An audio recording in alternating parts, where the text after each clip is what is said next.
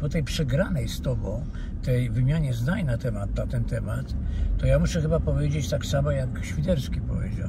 Pora, panie Włodku, umierać.